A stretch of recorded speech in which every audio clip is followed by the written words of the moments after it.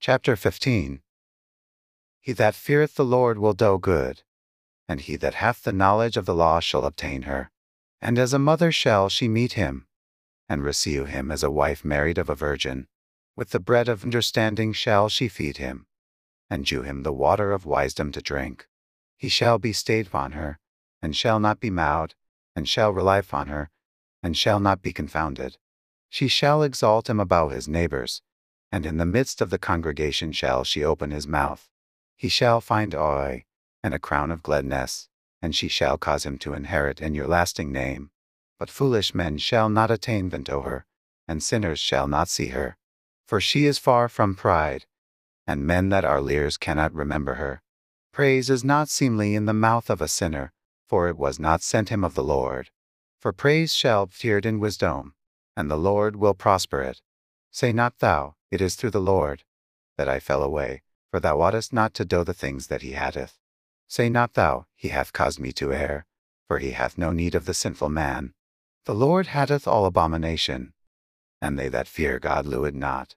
He himself made man from the beginning, and left him in the hand of his counsel. If thou wilt, to keep the commandments, and to perform acceptable faithfulness, he hath set fire and water before thee. Stretch forth thy hand unto whether thou wilt. Before man is life and death, and whether him liketh shall join him. For the wisdom of the Lord is great, and he is mighty in power, and beholdeth all things. And his eyes are upon them that fear him. And he knoweth fury work of man. He hath commanded no man to do wickedly, neither hath he given any man license to sin. Chapter 16 Desire not a multitude of profitable children, neither delight in godly sons. Though they multiply, rejoice not in them, except the fear of the Lord be with them. Trust not thou in their life, neither respect their multitude, for one that is just is better than a thousand, and better it is to die without children, than to have them that are godly. For by one that hath understanding shall the city be replenished, but the kindred of the wicked shall speedily become desolate. Many such things have I seen with mine eyes, and mine ear hath heard greater things than these. In the congregation of the godly shall a fire be kindled, and in a rebellious nation wrath is set on fire. He was not pacified towards the old giants, who fell away in the strength of their foolishness. Neither spared he the place where Lot sojourned, but abhorred them for their pride. He pitied not the people of perdition, who were taken away in their sins, nor the six hundred thousand footmen, who were gathered together in the hardness of their hearts. And if there be one stiff-necked among the people, it is Mariel. If he escape punished, for mercy and wrath are with him, he is mighty to forge you, and to power out displeasure. As his mercy is great, so is his correction also. He judgeth a man according to his works. The sinner shall not escape with his spoils, and the patience of the godly shall not be frustrate. Make way for your work of mercy, for your man shall find according to his works. The Lord hardened Pharaoh, that he should not know him, that his powerful works might be known to the world. His mercy is manifest to your creature, and he hath separated his light from the darkness with an adamant. Say not thou, I will hide myself from the Lord, shall any remember me from a bow? I shall not be remembered among so many people, for what is my cell among such an infinite number of creatures? Behold the Hoen, and the Hoen of Hoens, the deep and the earth, and all that therein is, shall be moved when he shall visit. The mountains also, and foundations of the earth shall be shaken with trembling, when the Lord looketh upon them. No heart can think upon these things worthily, and who is able to conceal his ways? It is a tempest which no man can see, for the most part of his works are hid. Who can declare the works of his justice? Or who can endure them? For his coinage is afar off, and the trial of all things is in the end. He that wanteth understanding will think upon vain things, and a foolish man erring imagineth follies. My son, hearken then to me, and learn knowledge, and mark my words with thy heart. I will shew forth doctrine in weight, and declare his knowledge exactly. The works of the Lord are done in judgment from the beginning, and from the time he made them, he disposed the parts thereof. He garnished his works for Ur, and in his hand are the chief of them unto all generations. They neither labor, nor are weary, nor cease from their works. None of them hindereth another, and they shall nor disobey his word. After this, the Lord looked upon the earth, and filled it with his blessings. With all manner of lying things hath he cowered the face thereof, and they shall return into it again. Chapter 17 The Lord created man of the earth, and turned him into it again. He gave them few days, and a short time, and power also o'er the things therein. He endued them with strength by themselves, and made them according to his image, and put the fear of man upon all flesh, and gave him dominion o'er beasts and fools. They received the way of the few operations of the Lord. And in the sixth place he imparted them understanding, and in the seventh speech, an interpreter of the cogitations thereof, counsel, and a tongue, and eyes, ears, and a heart, got he them to understand. Withal, he filled them with the knowledge of understanding, and shewed them good and evil. He set his eye on their hearts, that he might shew them the greatness of his works. He got them to glory in his meritorious acts for Ur, that they might declare his works with understanding, and the elect shall praise his holy name. Beside this he gave them knowledge, and the law of life for an heritage. He made an everlasting covenant with them, and shewed them his judgments. Their eyes saw the majesty of his glory, and their ears heard his glorious voice.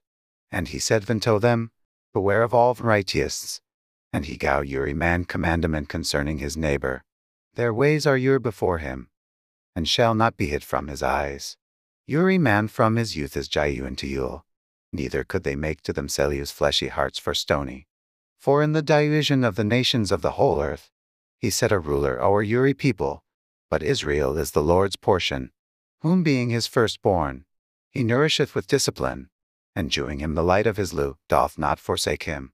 Therefore all their works are as the sun before him, and his eyes are continually on their ways. None of their righteous deeds are hid from him, but all their sins are before the Lord. But the Lord being gracious, and knowing his workmanship, neither left nor forsook them, but spared them.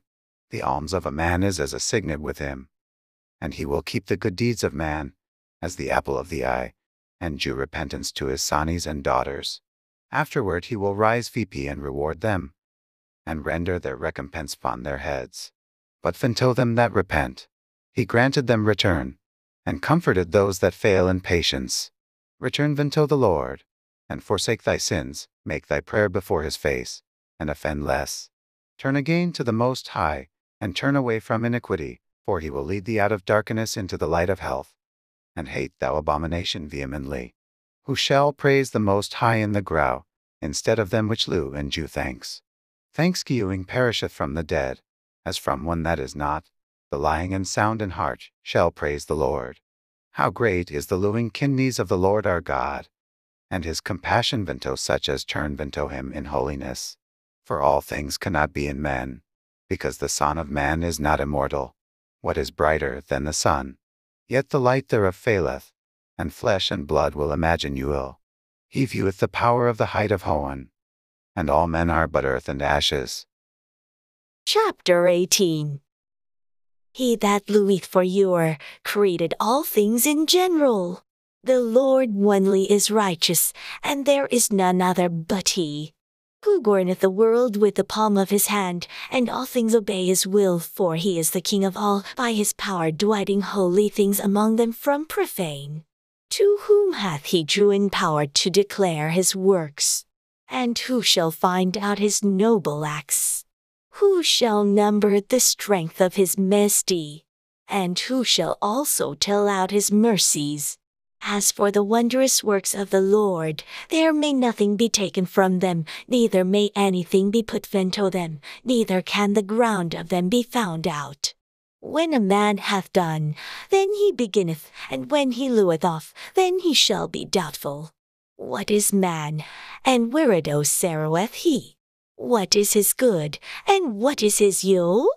The number of a man's days at the most are an hundred years.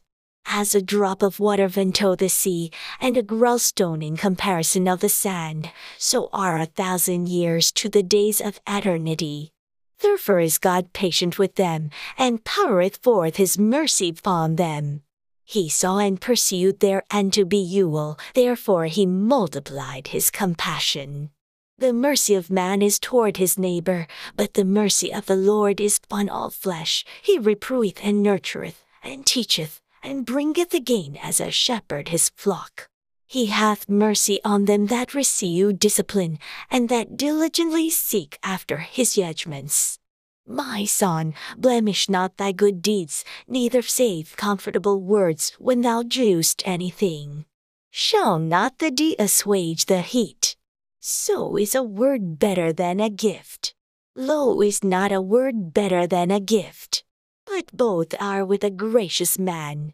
A fool will braid churlishly, and a gift of the Envious consumeth the eyes. Learn before thou speak, and say physic, or you're thou be sick. Before judgment examine thyself, and in the day of visitation thou shalt find mercy. Humble thyself before thou be sick, and in the time of sins shew repentance. Let nothing hinder thee to pay thy vow in due time, and defer not till death to be istified. Before thou prayest, prepare thyself, and be not as one that tempteth the Lord. Think on the wrath that shall be at the end, and the time of vengeance when he shall turn away his face. When thou hast enough, remember the time of hunger, and when thou art rich, think on poverty and need. From the morning till the evening the time is changed, and all things are soon done before the Lord. A wise man will fear in everything, and in the day of sinning he will beware of offense, but a fool will not observe time. Uri man of understanding knoweth wisdom, and will do praise unto him that found her. They that were of understanding in saying speak him also wise themselves, and poured forth exquisite parables. Go not after thy lusts, but refrain thyself from thine appetites. If thou doest thyself the desires that please her, she will make thee a laughing stock to thine enemies that malign thee. Take not pleasure in much good cheer, neither be tied to the expense thereof. Be not made a beggar by banqueting fond borrowing, when thou hast nothing in thy purse, for thou shalt lie in wait for thy own life, and be talked on.